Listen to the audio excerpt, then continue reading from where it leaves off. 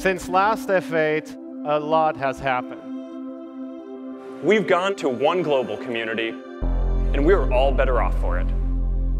But the challenge that we've seen time and time again is that far too many people are still unconnected. And I'm going to take you through some of the ways we're going to connect everyone on the planet.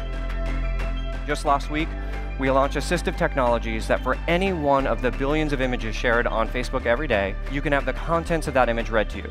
Open source plays a really important role in how we build. All this helps us fulfill our mission of connecting the world. Sign up is the front gate to your app, and it's often the hardest for people to get through. And that's why today, we're introducing Account Kit. VR can be used to connect people. Proximity would no longer determine who you spent your time with.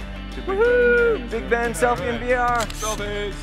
I'm very proud to announce today the Facebook Surround 360. So we're planning on open sourcing the hardware and software for all of this.